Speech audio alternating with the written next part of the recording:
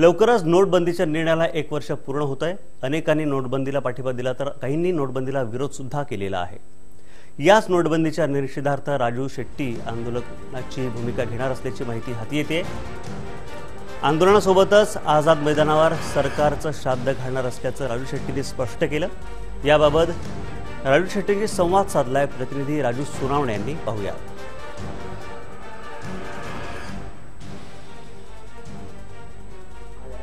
नोटबंदीच्या निर्णयाला एक वर्ष पूर्ण होत आहे. देशभरामध्ये अनेक ठिकाणी आंदोलनं जी आहेत ती होणार आहेत. आपल्यासोबत खासदार राजू शेट्टी आहेत.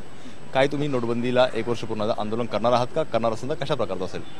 आठ नोव्हेंबरला नोटबंदीला एक वर्ष पूर्ण होत आहे.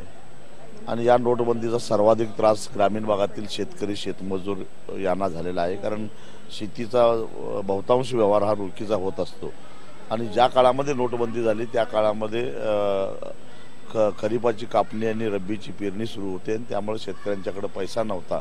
म्हणजे खरं तर काळा पैसा काय शेतकऱ्याकडे नव्हता तो त्याच्याकडे काळा काय गोराही पैसा नाही. पण सर्वाधिक फटका कोणाला बसला असेल तर तो शेतकऱ्यालाच या नोटबंदीचा बसला. आमचा दोष काय?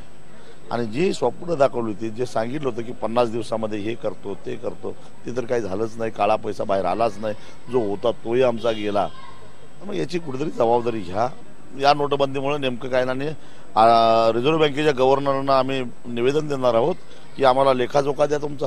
पन्नास एक वर्षामध्ये नेमकं काय साध्य केलं तुम्ही किती काळा पैसा बाहेर आला किती नोटा परत आल्या कमी आल्या का जास्त आल्या? म्हणजे काळा पैसा बाहेर आला की जो काळा होता तो गोरा झाला? याचं उत्तर आम्हाला मिळालं पाहिजे.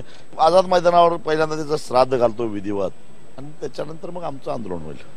पाहतो आपण नोटबंदीला एक वर्ष पूर्ण होत आहेत आणि त्या संदर्भामध्ये जे आहे ते राजू शेट्टी सुद्धा आंदोलन करणार असल्याचं राजू शेट्टी यांनी म्हटलं आहे. कॅमेरा महेश सर राजू सोनवणे जय महाराष्ट्र.